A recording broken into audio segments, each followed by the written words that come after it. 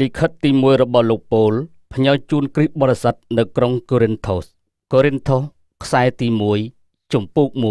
1ខ្ញុំប៉ូល ជាអ្នកដែលព្រះជាម្ចាស់សពព្រះអរតីត្រាស់ហៅឲ្យធ្វើជាសាវករបស់ព្រះគ្រីស្ទយេស៊ូវខ្ញុំនិងលោកសូស្តែនសូមជម្រាបមកក្រុមជំនុំរបស់ព្រះជាម្ចាស់នៅក្រុងកូរិនថូសព្រះជាម្ចាស់បានត្រាស់ហៅបងប្អូនឲ្យធ្វើជា ប្រជារាស្ត្រដ៏វិសុទ្ធ រួមទាំងប្រោះប្រទានឲ្យបានវិសុទ្ធក្នុងអង្គព្រះគ្រីស្ទយេស៊ូវរួមជាមួយបងប្អូនទាំងអស់ដែលអង្វររកព្រះនាមព្រះយេស៊ូវគ្រីស្ទជាព្រះអម្ចាស់របស់យើង នៅគ្រប់ទីកន្លែងព្រះអង្គជាព្រះអម្ចាស់របស់បងប្អូនទាំងនោះហើយក៏ជាព្រះអម្ចាស់របស់យើងដែរសូមព្រះជាម្ចាស់ជាព្រះបិតារបស់យើង និងព្រះអម្ចាស់យេស៊ូវគ្រីស្ទប្រទានព្រះគុណនិងសេចក្តីសុខសាន្តដល់បងប្អូន ខ្ញុំតែងតែអរព្រគុណព្រះជាម្ចាស់ជានិច្ចព្រោះព្រះអង្គបានប្រណីសន្តោសដល់បងប្អូនដោយបងប្អូន រួមជាមួយព្រះគ្រីស្ទយេស៊ូវដោយរួមជាមួយព្រះអង្គបងប្អូនបានបរិបូរសពគ្រប់ទាំងអស់ទាំងខាងព្រះបន្ទូល ទាំងខាងការស្គាល់ព្រះអង្គសក្ខីភាពរបស់ព្រះគ្រីស្ទបានស្ថិតនៅក្នុងបងប្អូនយ៉ាងខ្ជាប់ខ្ជួនហេតុនេះ នៅពេលដែលបងប្អូនកំពុងរងចាំព្រះយេស៊ូវគ្រីស្ទ ជាព្រះអម្ចាស់របស់យើងយាងមកយ៉ាងរុងរឿងនោះ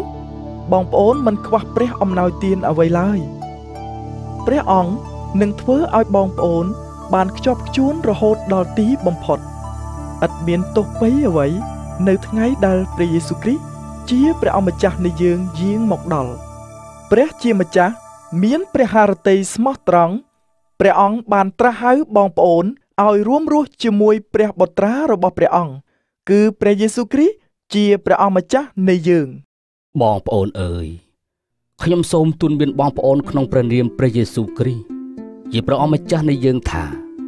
ចូលមានចិត្តគំនិតតែមួយកុំបែកបាក់គ្នាឡើយត្រូវចុះសម្រុងគ្នាទាំងស្រុង ដោយមានគំនិតតែមួយ និងមានយោបល់តែមួយ បងប្អូនអើយតាមរយៈក្រុមគ្រួសាររបស់នាងក្លូអេខ្ញុំបានឮដំណឹងថា មានកើតការទាស់ទែងគ្នា ក្នុងចំណោមបងប្អូន គឺម្នាក់ពោលថាខ្ញុំជាកូនចៅរបស់លោកពោលម្នាក់ថា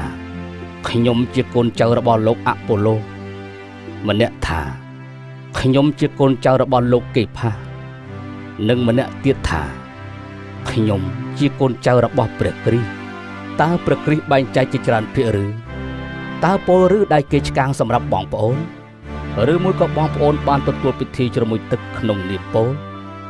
ខ្ញុំសូមអរព្រគុណព្រះជាម្ចាស់ដោយខ្ញុំពុំបានធ្វើពិធីជ្រមុជទឹកជូននរណាម្នាក់ក្នុងចំណោមបងប្អូនឡើយលើកលែងតែលោកគ្រីស្ពូសនិងលោកកៃយុសតែប៉ុណ្ណោះហេតុនេះគ្មាននរណាម្នាក់អាចពោលថាខ្លួនបានទទួលពិធីជ្រមុជទឹកក្នុងនាមខ្ញុំឡើយខ្ញុំក៏បានធ្វើពិធីជ្រមុជទឹកជូនក្រុមគ្រួសាររបស់លោកស្តេផាណាស់ដែរ ក្រៅពីនេះខ្ញុំមិនចាំថា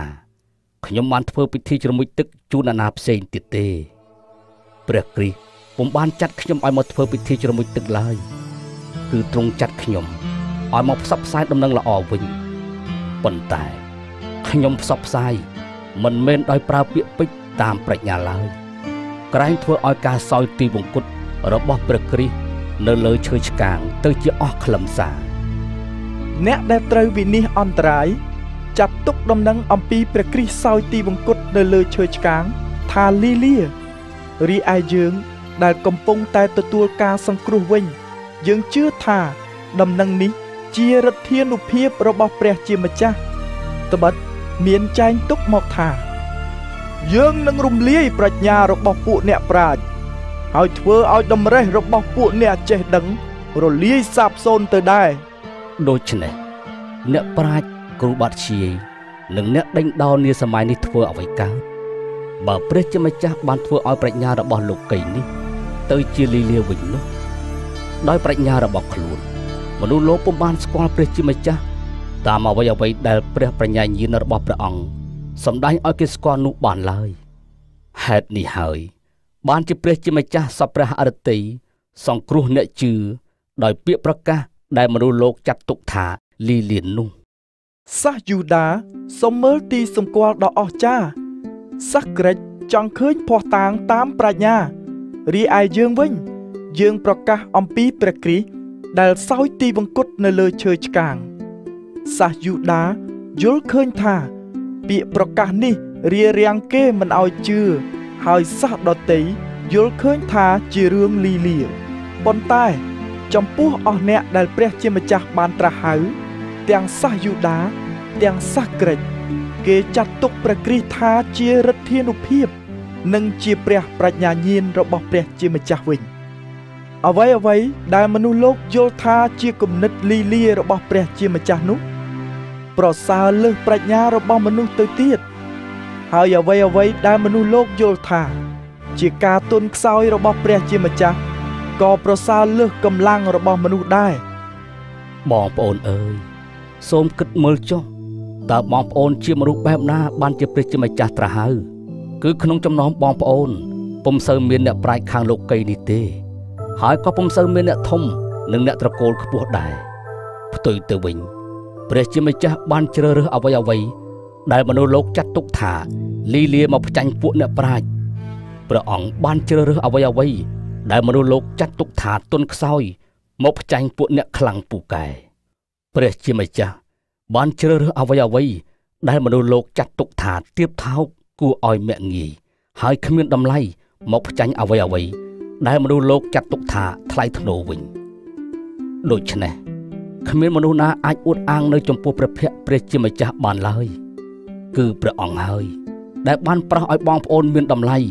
ដោយចូលរួមជាមួយព្រះគ្រីស្ទយេស៊ូវដែលបានទៅជាប្រាជ្ញាមកពីព្រះជាម្ចាស់សម្រាប់យើងព្រះអង្គប្រទានឲ្យយើងបានសុចរិតបានវិសុទ្ធនិងលួសយើងឲ្យមានសេរីភាពដូច្នេះអ្នកណាចង់អួតអាងត្រូវអួតអាងអំពីកិច្ចការដែលព្រះអម្ចាស់បានធ្វើ ដូចមានចែងទុកមកស្រាប់